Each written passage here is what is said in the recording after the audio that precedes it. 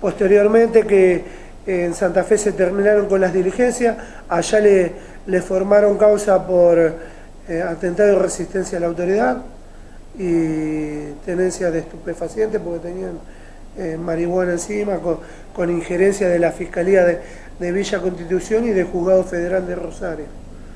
Eh, y acá fueron, en el día de ayer, comparecieron en la Fiscalía número 3 de Mercedes y y por el momento hasta que dictamine el juzgado de garantías permanecen alojados hasta que puedan ser reubicados en otra. Tomamos conocimiento de, un hecho como estás mencionando, este, en la esquina de Buenos Aires y Doroteo Gómez.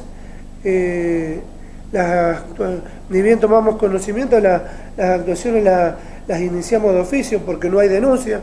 La víctima eh, no estaba en su deseo eh, testimoniar o, denunciar eh, fehacientemente cómo había sido el atraco o el asalto, si efectivamente, pero al momento de, tomar conocimiento nosotros iniciamos las actuaciones de oficio, dimos conocimiento a la Fiscalía y se están haciendo las averiguaciones que el hecho tiene lugar.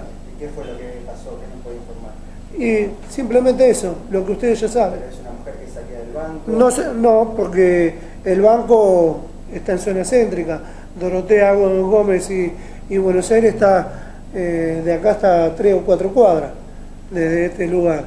Así que hasta que no le tomemos testimonio, hasta que no tomemos testimonio de esta persona, exactamente no, no puedo desarrollar un poquito más en, la información.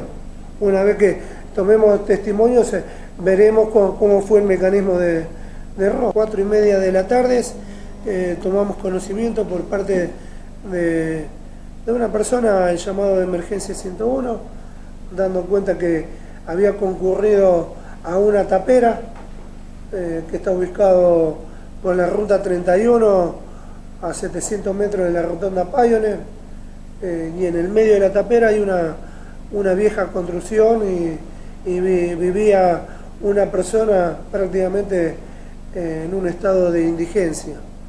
Entonces, esta persona comúnmente iba dos o tres veces a la semana, le, hacía las veces de, mandado o de remisero, llevándolo o trayéndolo por algún trámite o para comprar alguna u otra cosa.